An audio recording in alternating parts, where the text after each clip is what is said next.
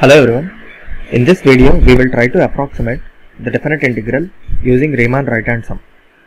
So we were given integral 2 to 6 x square plus 1 by x minus 1 dx. This function x square plus 1 by x minus 1 looks little complex to integrate. Yeah, of course there are many methods to compute this integral and get the exact value. Uh, but let us say you are writing a competitive exam and in that there is a question like this and options are like uh, let's say 19.4 23.2 30.5 and 10 then in this case you don't need to find the accurate answer right? You can actually approximate this integral. So in those situations this Riemann sums come in handy Okay, let us try to approximate this integral using Riemann right hand sum. Now, let us consider f of x is equal to x square plus 1 by x minus 1 and interval to be 2 to 6. Now we can see that x 0 will be equal to 2 and xn will be equal to 6 but we have uh, given that n is equal to 4 that means our xn will be x4 so we can divide our interval into subintervals uh, like this.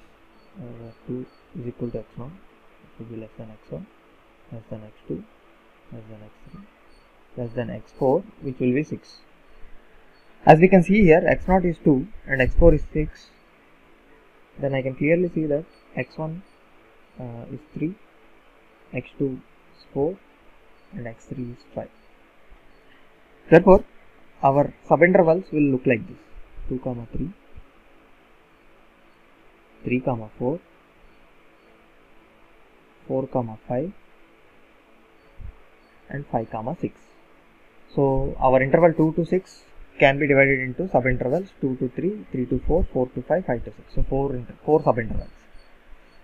Also if you observe here the length of each interval is 1 that is delta xi which is xi minus xi minus 1 is 1 for all the intervals for i 1 2 3 4 okay now that we have all the required values are ready we are ready to compute Riemann right hand sum which will be equal to summation i is equal to 1 to 4 f of xi times delta xi. So if i expand this i will get f of x1 times delta x1 delta x1 is 1 plus f of x2 times delta x2 which is also 1 and f of x3 times delta x3 is 1 plus f of x4 times 1 so now f of x1 is nothing but f of 3 so x1 is 3 here. Similarly f of x2 is f of 4 plus f of 5 plus f of 6. So this will be equal to f of 3 will be equal to 3 square plus 1 by 3 minus 1 because f of x is x square plus 1 by x minus 1 just substituting 3 in place of x.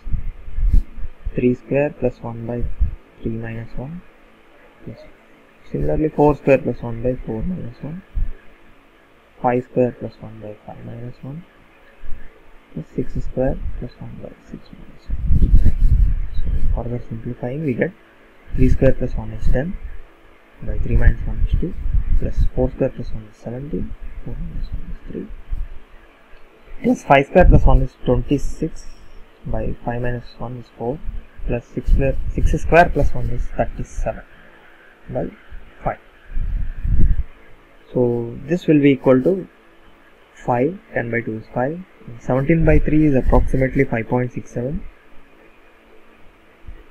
and 26 by 4 is equal to 6.5 and 37 by 5 is equal to 7.4 we add all this we get 24.57 right? Therefore the Riemann right hand sum will be equal to 24.57 hence we can say that integral 2 to 6 x square plus 1 by x minus 1 dx can be approximated to summation i is equal to 1 to 4 f of f of xi times delta xi. This value we just found it out which is 24.57 which is approximately 24.6 units so we are not worried about the units here so okay now that we got 24.6 we can we have options like 19.4 23.2 something like and there is another option 10 and 35.5 something so now you can see that our right hand sum is 24.6 so basically our right hand sum uh, will come nearer to the exact value. So as we have taken only four four intervals we got 24.6 as we increase the number of intervals we will approach to 23.2 and you can directly click on 23.2 okay now quickly let us see this in GeoGebra and visualize. Okay if you see here f of x is equal to x square plus 1 by x minus 1 this is how the graph looks near the points 2 to 6 so we are computing the right hand sum by taking four intervals. These are our intervals 2 to 3, 3 to 4, 4 to 5 and 5 to 6. So if we compute the right hand sum that is equal to, uh, approximately equal to 24.6 units. So let us see the exact sum also. Okay, though, so the exact sum is 23.2. So you can also compute this integral, you can you will get 23.2. Thank you.